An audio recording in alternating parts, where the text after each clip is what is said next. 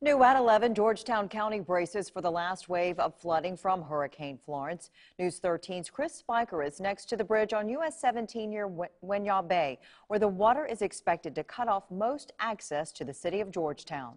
Traffic has been reduced from four lanes to two on the bridges over the Waccamaw, Pee Dee, and Black Rivers. An aqua dam is in place, but the Department of Transportation says it may not be enough to keep 17 open.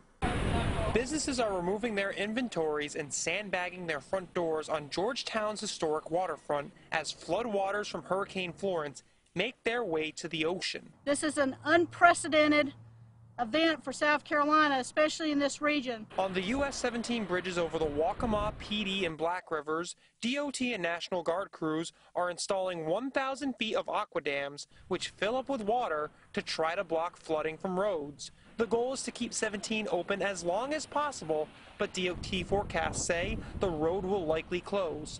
Engineers will also monitor threats to bridge safety, like erosion or how fast debris is floating. We'll be looking at that velocity to make sure there's not any lateral force pushing on the bridge, so we'll be measuring that velocity and we understand what it would take to, to actually damage the bridge. Crews are also putting 4,000 feet of aqua dams along 17 in the Waccamaw Neck area of Georgetown County towards Pawleys Island.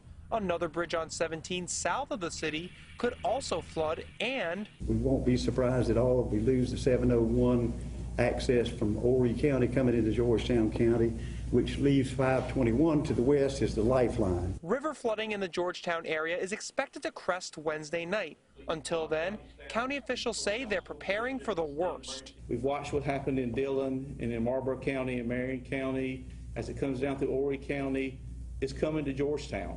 The county has two shelters open at Georgetown High School and Waccamaw Middle School in Pawleys Island. While the county says it likely won't order mandatory evacuations, up to 8,000 people are urged to stay safe and leave flood-prone areas. Reporting in Georgetown, Chris Spiker, News 13.